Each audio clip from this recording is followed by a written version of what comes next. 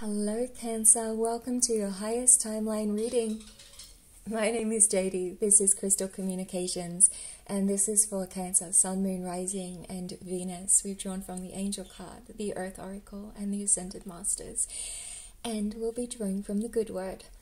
I just enjoyed some delicious matcha, um, and I heard the words, Hey, sunshine. so it feels like a very beautiful energy, and I'm hearing chimes, um, like wind chimes as well. So, sweethearts, let's see your energy for February 1 to 7 on the highest timeline. New love, Cancer. This is glorious. Yes, the winds are bringing in a beautiful love energy. It really, it sounds like chimes. It's gorgeous. The angels, the Cupid has struck the arrow. Wow. And this is love, you know, with another. This is reigniting love. This is new passions within. It's something has sparked your attention, Cancer, and it's drawing you forward to light, joy, and happiness. From the Earth Oracle, Green Man and Synergy. This is the luckiest card from this deck.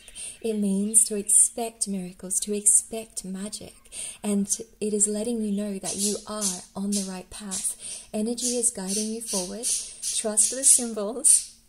The birds are saying they're hungry, even though they have a lot of seed right now.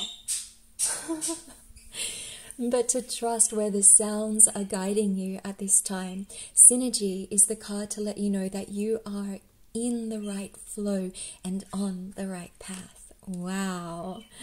And the Ascended Masters, peace offering. So gorgeous.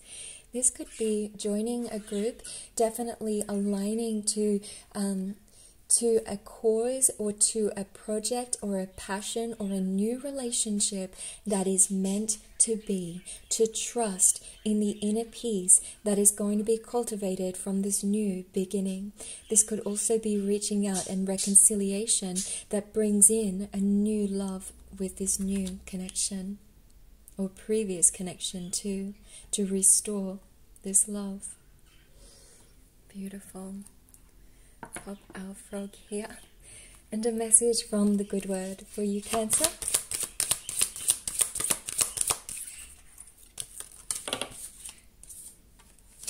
It says, Don't let anyone look down on you because you are young, but set an example for the believers in speech, in conduct, in love, in faith, and in purity. I, Timothy 4:12. Cancer, this is letting you know that you being in your strength is inspiring so many others beyond what you could dream of. Set the example by simply being you because you are lighting the way for others. You are strong, Cancer, and you are a way shower. Sending you so much love and light. Thank you for being here for your highest timeline reading. I'll see you next time, Cancer. Have a beautiful, blessed now.